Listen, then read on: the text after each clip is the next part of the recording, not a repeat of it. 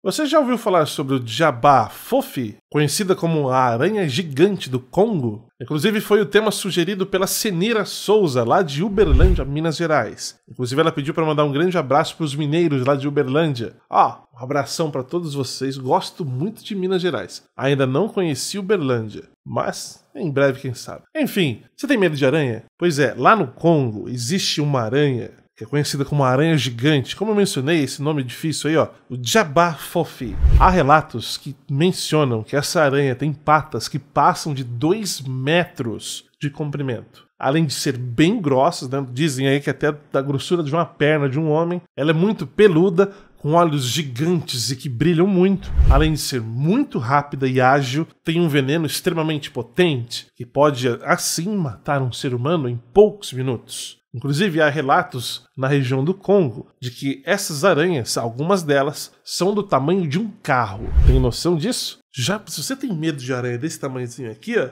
imagina uma que é do tamanho de um carro. Tá, mas vamos falar a verdade. Isso não passa de um mito, de um folclore popular. De fato, científico, nunca foi comprovado que essas aranhas existam. E há relatos de que essas aranhas existem desde 1800 e bolinha, vamos dizer assim. Há muitos anos, há muitos séculos, na verdade. Mas isso nunca foi comprovado, nunca houve nenhuma evidência de que de fato existam aranhas que passem do tamanho de um carro lá. Acho que o povo é meio exagerado naquela região. Claro que já foram encontradas aranhas gigantes, mas que suas patas não passavam de 30 centímetros de tamanho. Deixa eu ver se eu tenho uma régua aqui pra gente medir. 30 centímetros. Aqui, ó. 30 centímetros. Imagina uma pata desse tamanho. Isso aqui existe. Lá no Congo tem aranha que tem patas desse tamanho. Não somente lá, mas vários lugares do mundo tem aranhas assim. E são as aranhas grandes, gigantes. Mas aranhas que têm patas de 2 metros, isso aí já é um folclore.